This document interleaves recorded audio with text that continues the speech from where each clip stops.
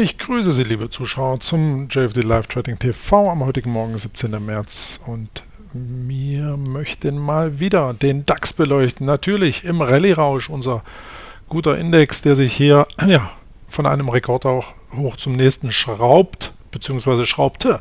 Denn wie wir unlängst sehen, haben wir heute mal seit längerem negative Vorzeichen zu vermelden. Und das schauen wir uns direkt mal hier im Stundenchart-Intervall an.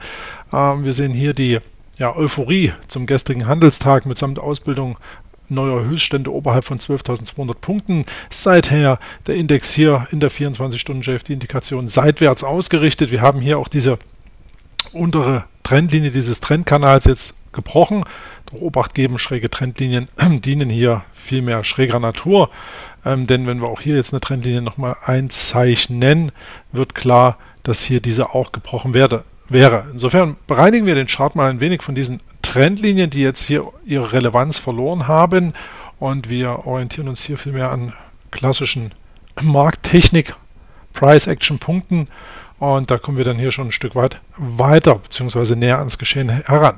Interessant hierbei, dass wir diese obere deckelnde Trendkanallinie, die sich hier schon ja, seit dem Mitte Februar etabliert hat, hier unlängst nochmal touchiert hatten und hier nicht drüber rausgebrochen sind. Das ist ganz interessant, darum lasse ich die Linie einfach mal drin im Chart, sozusagen als deckelnde schräge Trendlinie. Äh, wenn auch diese ihre Relevanz verliert, was wahrscheinlich anzunehmen ist, dann ähm, früher oder später, dann muss man natürlich auch hier eine Anpassung vornehmen. Doch wie kann es jetzt konkret erstmal weitergehen beim Index? Ähm, wir sehen, dass wir aktuell in einer Konsolidierungsphase stecken soll nicht bedeuten, dass jetzt der große Bärenmarkt ausgerufen werden sollte, denn übergeordnet und gerade saisonal, das haben Sie vielleicht jetzt auch schon erhascht in dem Blick der Startsequenz, saisonal, das wissen Sie, wenn Sie die letzten Sendungen gesehen haben, sind wir hier insbesondere ähm, ja, während des Märzes und jetzt auch während der nächsten 90, 120 Handelstage hier durchaus bullisch unterwegs. Das ist eine sehr, sehr bullische Marktphase, in die wir reinlaufen. Ähm, aufpassen, was dann hier ähm, im März noch passiert. März teilweise als Umkehrmonat auch bekannt. Dann kommt hier der Mai, Sell in May and Go Away. Auch den Spruch kennen Sie. Aber dann kann es hier rein saisonal sogar nochmal einen Schub in den Juni geben, sodass der letzte Bär hier praktisch das Handtuch wirft und verzweifelt äh, das Parkett verlässt. Und ähm, ja, wenn dann praktisch der Taxifahrer, die Friseuse oder auch möglicherweise ihre Schwiegereltern oder Eltern plötzlich sie fragen, ob sie denn nicht Aktien kaufen sollten, dann ist es vielleicht an der Zeit, mal mit einer größeren Gegenbewegung zu rechnen. Doch dies aktuell eben nicht zu sehen. Insofern bietet es sich nach wie vor an, immer wieder Rücksetzer am Markt einzusammeln. Ähm, der Markt ist überhitzt, keine Frage. Wir sind hier in einem gewissen Extrema, doch Trendbewegungen ähm, sind eben intakt. Wir hatten in der vergangenen Woche am US-Markt, ähm, das hatten wir auch gestern nochmal analysiert, am Abend ähm, die Tendenz, dass es hier möglicherweise eine Korrektur geben könnte, die ein Stück weit stärker ausfällt als die überfällige Gegenbewegung. Diese wurde mit den gestrigen Performance Aufschlägen in, in Anführungszeichen relativiert. Der Markt schoss eben nach oben hat hier die Vortagestiefs ähm, sozusagen nicht bestätigt, die Vortagestiefs vom Freitag.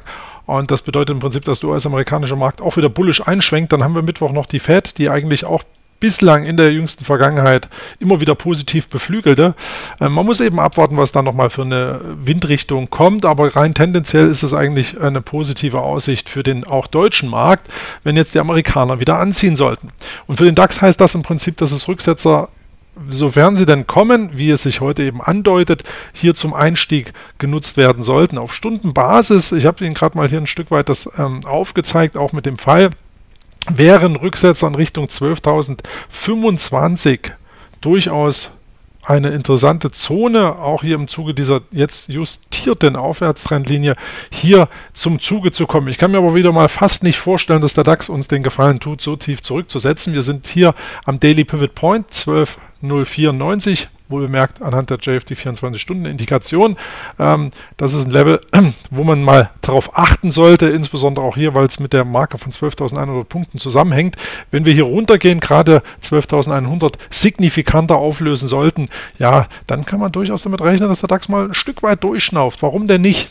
Dann hier, wie gesagt, eine sehr, sehr interessante Marke, um den DAX wieder einzusammeln. Denn das Bild ist weiter auch wenn wir überhitzt sind, keine Frage, weiter bullisch. Das sehen wir auch hier an der RSI-Oszillation ähm, oder besser gesagt am RSI-Oszillator hier in 14er Periodeneinstellung auf Tagesbasis. Wir sind hier gnadenlos überkauft, aber in Trendmärkten ähm, haben Oszillatoren große Schwächen und da kann es eben durchaus dazu kommen, dass der Markt weiter steigt und die Oszillatoren eben hier am oberen Limit äh, sich bewegen. Das ist äh, den Oszillatoren geschuldet. In Trendmärkten kann man sie tendenziell vergessen.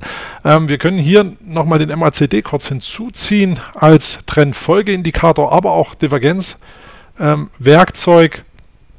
sehen wir auch hier, dass der Markt jetzt just auftritt. Das Histogramm, also hier die Differenz zwischen Signal- und Triggerlinie, steigt auch wieder an. Das ist grundsätzlich positiv zu sehen und der DAX scheint hier, auch wenn es heute eine schwächere Entwicklung gibt, tendenziell eher weiter an als absteigen zu wollen. Wir haben jetzt hier das Ziellevel 12.150, 12.200 Punkten. Ähm, mit dem gestrigen Hoch touchiert, erreicht, abgearbeitet. Wie kann es denn jetzt weitergehen? Sie sehen hier am Hand des Tagescharts habe ich die Pivot-Punkte mal ähm, nochmal aufgelegt, ähm, vor dem Hintergrund, dass wir hier mal nach oben jetzt Ableitungen treffen. Ich werde dann in Kürze hier nochmal mit Fibonacci etwas hantieren, um sozusagen noch weitere Ziele auszuloten. Aber tendenziell darf man davon ausgehen, ähm, wenn wir hier jetzt nicht signifikant unter 12.000 Punkte einbrechen, dass es hier generell weiter nach oben geht. Ich werde jetzt mal hier die Wochenpivotpunkte ein bisschen klären. So, die Marke mal rausnehmen. Und wie gesagt, nächstes Ziel abgearbeitet. Wahnsinn, aber wahr. Und insofern jetzt nach oben geschaut, hier der Wochenpivotpunkt erlaubt hier Niveaus 12.730 Punkte. Wieso denn nicht? Der DAX mit seiner starken Daily Range derzeit kann dies durchaus leisten. Soll heißen, der DAX kann hier durchaus weiter nach oben aufdrehen und entsprechend diese Niveaus abarbeiten. Ähm, Rücksetzer, wie gesagt, ob der jetzt tiefer oder höher ausfällt, es bleibt dabei der blaue Tendenzfall ist hier weiter nach oben anzulegen. Dieser graue Pfeil als Alternativplan, den würde ich hier dann doch schon jetzt in dieser Region ansiedeln. Hier unterhalb des Kerzentiefs vom Freitag, 11.740 Punkte. Ähm, wenn wir da runterfallen, insbesondere auch hier diese Aufwärtstrendlinie seit Februar, ähm, hier mit eintauchen, dann wieder in diesen Trendkanal, in diese deckelnde Trendlinie. Sie sehen hier diese Trendlinie, die an für sich in der Vergangenheit immer ein schönes Umkehrlevel war. Die haben wir hier eben bereits am 11.3. überwunden. Ähm, Pullback an dieses Level, jawohl, aber wenn wir hier wieder zu stark eintauchen, dann könnte es hier stärkere Rücksetzer geben. Aber aktuell da ist davon noch nichts zu sehen, das muss man ganz klar ableiten. Und insofern ähm, weiter Bullenreiten angesagt. Ähm, vor in gut einer Stunde, wir werden es ankündigen im JFD-Stream, werden wir uns nochmal die ein oder andere interessante Aktie aus dem DAX vornehmen, also hier die Tops Schrägstrich vielleicht die Flops, das werden wir noch abwägen, aber freuen Sie sich dann auch mal auf eine, Akt, äh, auf eine JFD Live Trading Sendung zur Mittagszeit, wo wir dann eben hier die einzelnen Titel mal betrachten. Eins, zwei werden wir in jedem Fall in den Fokus nehmen. Ansonsten, wenn Sie einen Wunschtitel haben, haben schreiben Sie es einfach jetzt unter den letzten Stream-Post zur jetzigen DAX-Sendung, dann können wir uns auch gern diesem widmen. Ich sage erstmal danke fürs Einschalten, wünsche Ihnen jetzt noch einen erfolgreichen Handelstag und bis später, Ihr Christian Kimmerer.